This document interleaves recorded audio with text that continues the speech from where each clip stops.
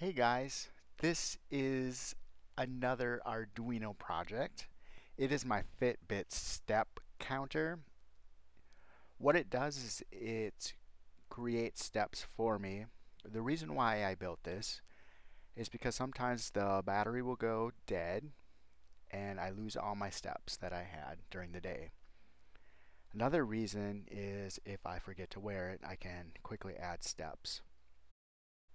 This program has three modes. There's a walk mode, a jog mode, and a run mode.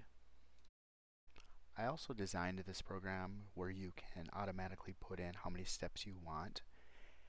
Right now it's set up to a thousand and it will take a 20 minute break and then do another thousand steps and throughout a 24 hour period it will give me about 45 to 47,000 steps the parts list for this project include the Arduino Nano, which I got on eBay for less than $3. I also have a servo, which I got at Hobby King for less than $3. So you can build this project for less than $6. It only uses one pin on the Nano, and that's pin number 9, and that goes to the servo. The positive and negative to operate the servo uh, go to the ground, of course, on the Nano, and then the um, 5 volts on the Arduino.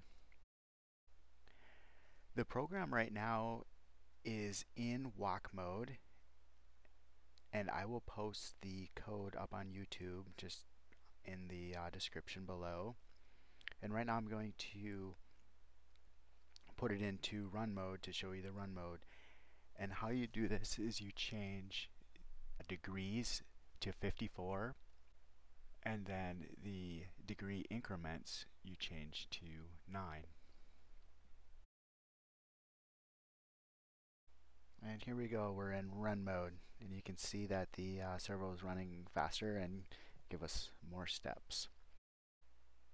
And that concludes my Fitbit meets Arduino project.